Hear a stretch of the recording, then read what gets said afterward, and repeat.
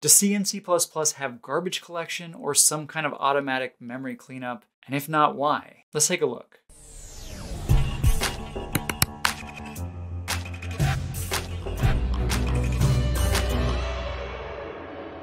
Welcome back, everybody. I missed last week. Sorry about that. Things got a bit crazy. But I'm back, and today I want to answer a question by Ken To, which reads Wondering if you could discuss garbage collection at some point. Is there an auto cleanup of malloc heap variables in Clang or GCC at any time of program termination? How about manual cleaning at atexit? Cheers.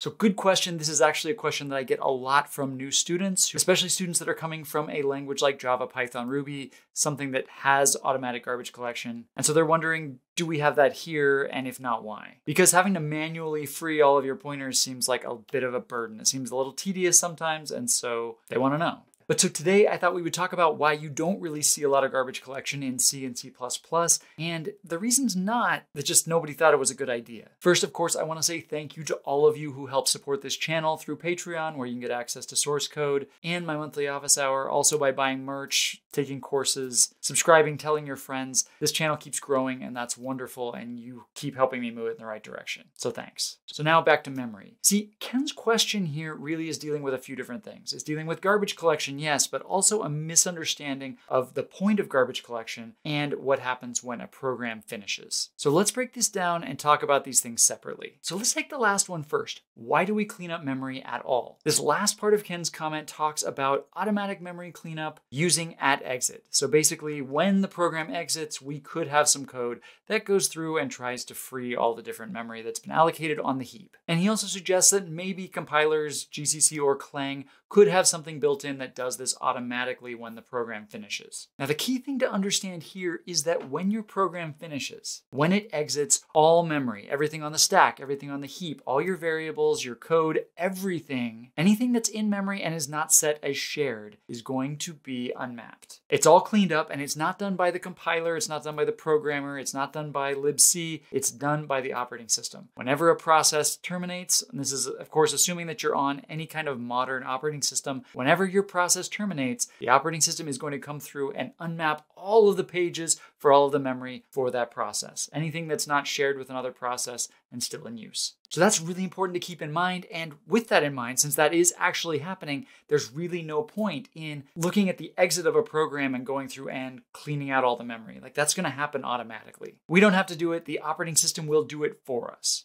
Now, of course, I'm not saying don't be in the habit of freeing your memory. This is a very good habit to be in, but my point is, is that the reason that we free our memory is not because we don't want to leave it around at the end of the program. The point is not the end of the program, it's the middle of the program. If I have a process that runs for a very long time, we're talking days, weeks, months, and if I'm not freeing my memory, that memory can build up and it can build up to a point where my memory footprint is very large and that can impact performance. So that's the point of freeing your memory. And so so if we do explore garbage collection, we're not going to do it at the end of the process. We want to do it in the middle. But okay, so let's assume that I have a C program. Maybe it's a web server. Anyway, it's something that could run for a very long time. Hours, days, weeks, months. The question is, could we make a garbage collector that will work with C and C++?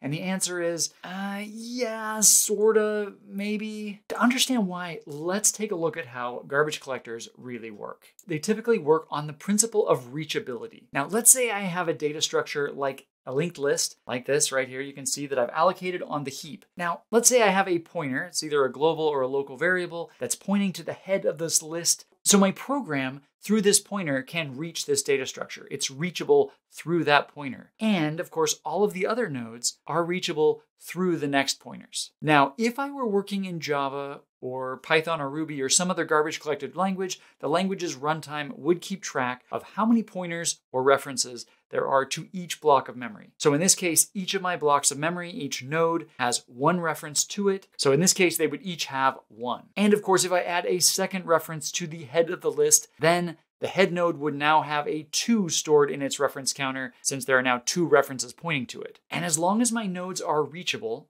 then they might be accessed later on in the program, and so we need to keep them around. We better not garbage collect them. But as the program runs along, things change, and maybe one of these pointers gets pointed to something else. And maybe this other pointer, maybe that was a local variable, and the function that it was declared in ends, so that pointer goes out of scope, and now it doesn't exist. Now note that each time one of those pointers stopped pointing to this block of memory, the reference counter was decremented. And now it is zero, meaning that no references or pointers point to this block of memory, so the head of the list is no longer reachable from the program. So now at this point, I can safely say that this node is garbage and I can clean it up. And once it's gone, then the next one can be cleaned up and so on until we've cleaned up the entire list. Now, of course, I'm definitely oversimplifying things a bit, but this is basically how garbage collectors typically work. And we could do this in C and C++, and some people have tried. There's just one problem. And that is that C and C++ are not type-safe languages. You see, in Java, a pointer, or reference, a reference, a reference is a reference, and that's never going to change. In C or C++,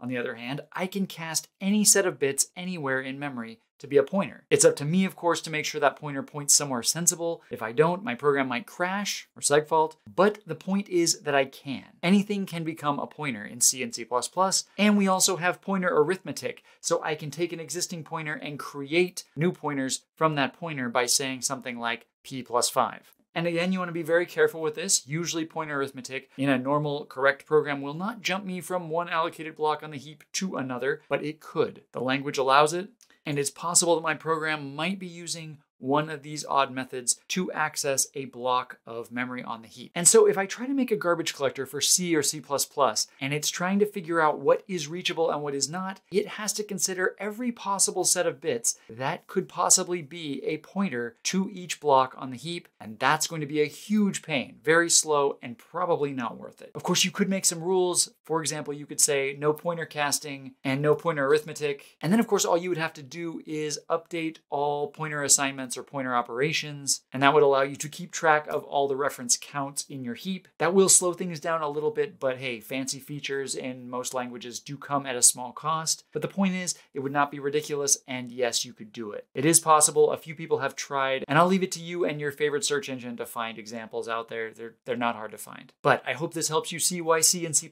typically are not garbage collected languages. At least you're not getting anything with your compilers just right out of the box. So I hope you learned something today. Like this video if you liked it and want to let the YouTube algorithm know that you want to see more content like this. Subscribe so you don't miss future videos. Check out my Patreon if you want to get access to my office hour or source code for my videos. And check out my courses. Uh, I mean, there's one right now, one course. There will be more coming. But if you want to dig a little deeper, and until next week, I will see you later.